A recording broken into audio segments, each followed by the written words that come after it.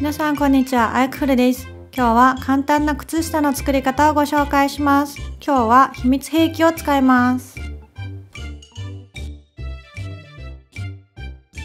秘密兵器はこれ、くるっとアミュアミュという商品です。これと毛糸はダイソーのアムコラです。片足で2玉なので全部で4玉使います。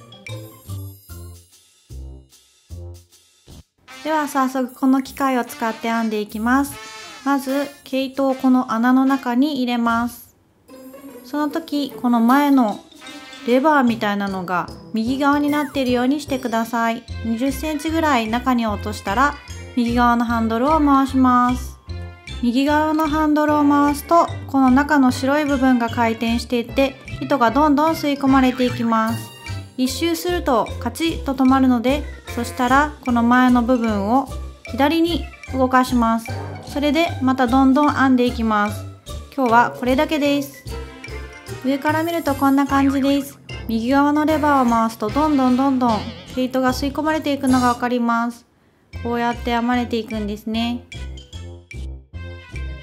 この透明な蓋もついていきます。これはつけた方がいいそうなのでつけてやってみます。そうすると上から押さえてこのように編めるので楽です。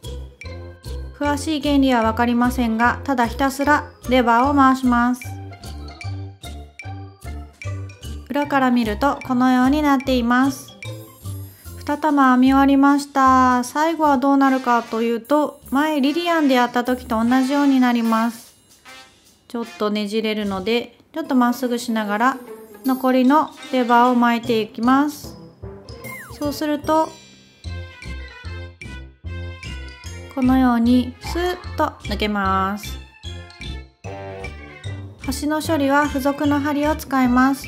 このように通して端がほつけないように留めていきます。こっち側が足が入る方になります。こんな感じで穴の部分を通していって一周したらこんな感じになりました。これで端を留めて残りは適当に隠します。